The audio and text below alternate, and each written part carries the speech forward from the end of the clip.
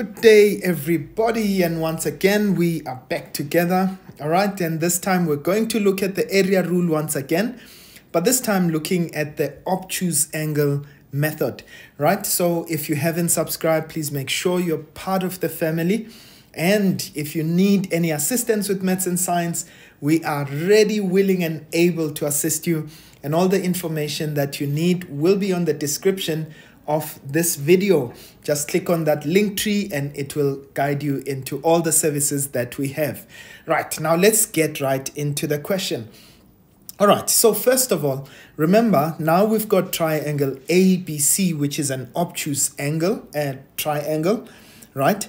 So in this case, what we're going to do, now remember the side that is opposite to uh, angle A, that will be small side A, the side that is opposite angle B will be small side B and the side that is opposite angle C will be small side C. Right, so now that we've got our sides, right, let's do this. We are now going to draw a line that is perpendicular to that triangle, right? So let's have a perpendicular line there okay and let's extend that line. Okay so now we've got that extension. In fact let me just make it nice and straight. Okay so there it is. Okay so now that we've got an extension we know that this would be uh, that would be a uh, lines that are perpendicular right?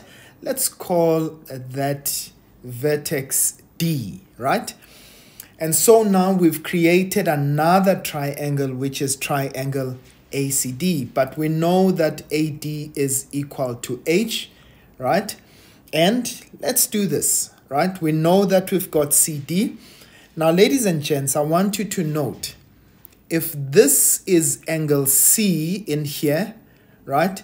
What would be the size of this angle in here? It would be 180 minus angle C. Let's keep that in mind, right?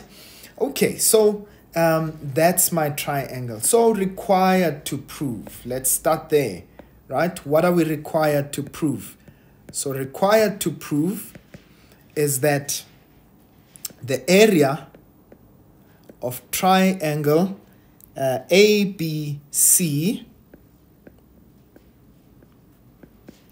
is equal to half a multiplied by B, the sine of angle C. Now remember the area rule, you always have two sides and the included angle. So if I use A multiplied by B, the included angle, the angle between those two sides would be angle C. Right, now let's prove. So our proof just simply says, oh, oops, I wrote proof. Uh, so proof so let's start.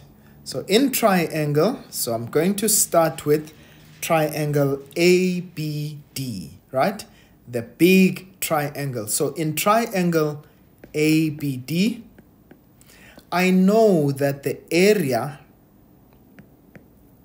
okay, the area of triangle ABD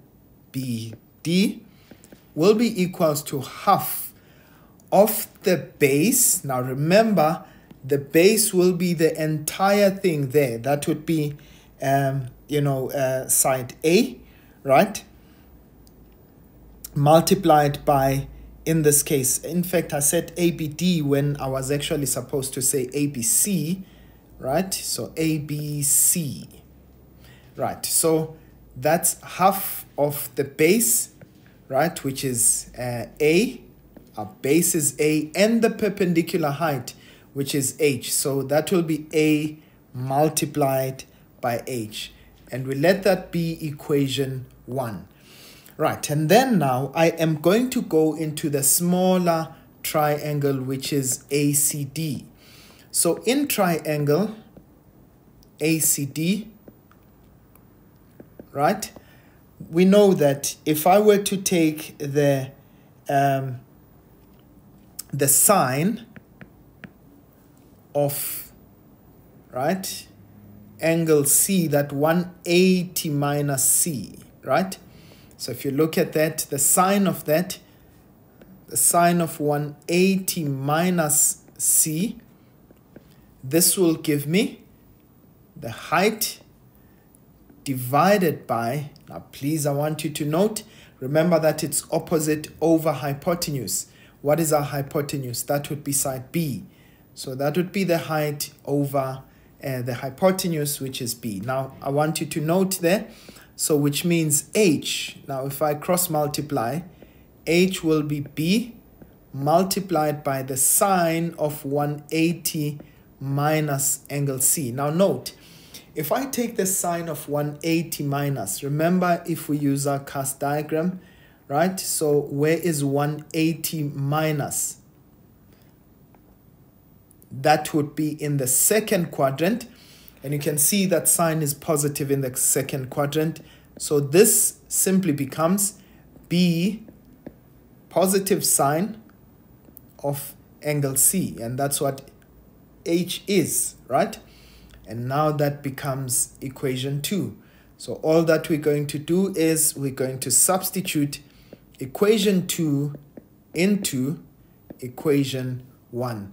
And please, I want you to note, ladies and gents, now that I've got uh, H there, so the area of triangle ABC will be equals to half of, we've got A, but now for H, we can substitute that B sine C.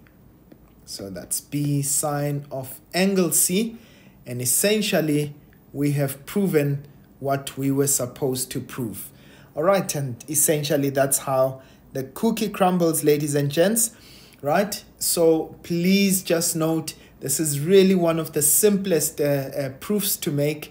And in this case, you would have gotten yourself some free marks. All right, ladies and gents, we leave it there. We are now going to apply the area, uh, the area rule. Uh, we're going to apply, um, you know, the sine rule and the cosine rule in our next video. And please look out for more content from your favorite uncle. Otherwise, from me for now, I'll see you guys next time. Shop, shop.